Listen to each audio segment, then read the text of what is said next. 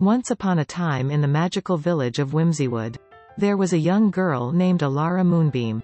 Elara loved her enchanted school because everyone got along so well. They cooperated, played together, and shared everything. It's your turn, Benji. Here you go, Tara. You can use my quill next. Oh, I like your potion idea. Better let's try that. Life was harmonious at the Whimsywood School of Magic. However, things changed when it rained enchanted, sparkling raindrops. That's when Elara's class would divide into two factions. The Fairy Flyers and the Gnome Stompers. Fairy Flyers loved to fly over the shimmering puddles, avoiding the raindrops that turned into glowing crystals. Gnome Stompers, on the other hand, enjoyed stomping on those raindrop crystals and watching them burst into colorful fireworks. Come fly over the puddles with us, said Alaric, one of the fairy flyers.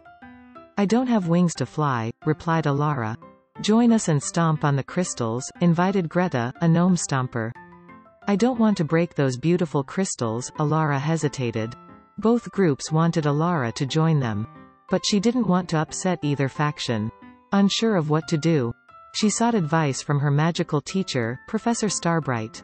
It seems you're caught in a magical quandary, said the wise professor. After a night of pondering, Elara shared her predicament with her parents over dinner. Her father joked, you're in a real fairy gnome pickle. Her mother asked, why not create your own club that combines both activities? Inspired, Elara hugged her mother and knew exactly what to do. The next day at school, when the enchanted rain stopped, the playground was filled with glistening, magical puddles. Both the fairy flyers and gnome stompers eagerly awaited Elara's decision. I've created my own club, announced Elara. The Pixie Prancers. She then demonstrated her new club's activity. First, she tiptoed delicately around a puddle, appreciating the glowing crystals. Then, she stomped on just one crystal, making it burst into a spectacular firework display.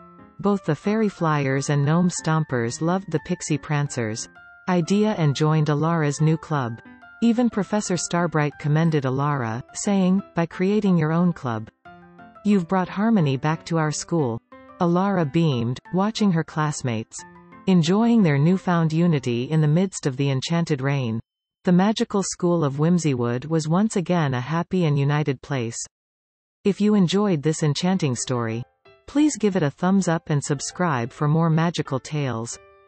Don't forget to click the notification bell, so you'll be the first to know when a new story is available. Thank you and have a spellbinding day.